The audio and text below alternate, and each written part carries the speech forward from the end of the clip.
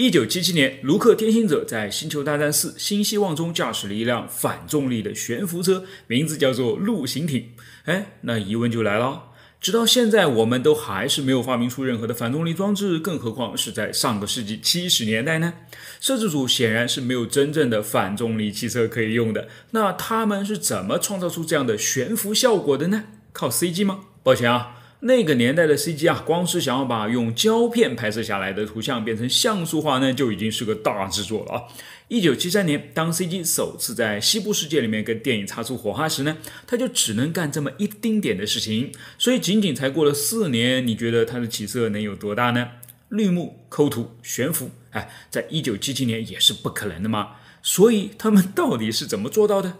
很简单啊，跟魔术师取经呗，障眼法。哎，这张照片呢，你就能看得一清二楚了。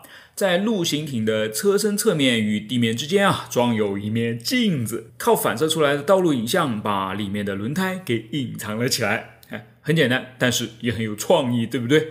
这张照片里面的反重力飞行器也使用了同样的手段。哎，你乍一看呢，还真感觉它们是凭空悬浮起来的呢。好，那到了今天，这样的思路还有价值吗？有的啊。咱们可以拿它来隐形啊！英国 BAE 系统公司呢，在大约十年前就开发出了一款他们所谓的高科技隐形斗篷，叫做自适应伪装技术。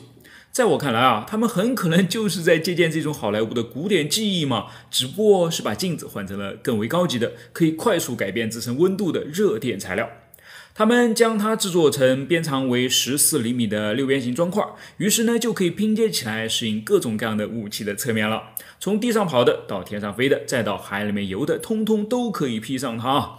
然后该系统呢会实时的扫描附近的地形、建筑、植被等背景信息，读取它们的热量图，再将其复制到自己身上，从而制造出一个与环境融为一体的红外影像。